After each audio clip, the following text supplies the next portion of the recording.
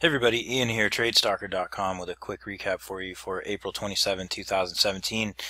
You can see how uh, nicely the levels performed today. The market opened up uh, about where it closed yesterday, and we got a bounce. And uh, actually, initially we got a pullback to this support level um, to uh, this 83 level, and we got a bounce from there up towards the 88 to 89 level. It came just a couple ticks shy there and took us all the way back down slicing through this level and then coming back up to test it again this 82 to 83 on the other side you can see how nicely it held here and we got to move down that attempted to get to this 77 to 78 level just a, a few ticks shy of hitting that level when we bounced again and you can see again resistance here initially at the 82 as the market had to work its way through it and then slice through that again, this time getting all the way up to the 88 to 89 level where we did encounter resistance once more and the market came back down. Kind of a typical sideways day, got a bounce off this level. You can see how well the levels work even though it's a sideways day and uh, those are the places where you're looking to do business, um, you know,